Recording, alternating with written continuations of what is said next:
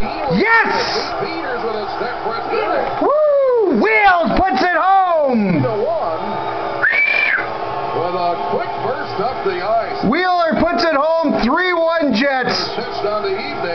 8.40 left in the third period, and, uh, oh boy, it all comes now down to defense. The D got to come out big, stop the Canes, get another goal, put this baby to bed. 3-1 40 left.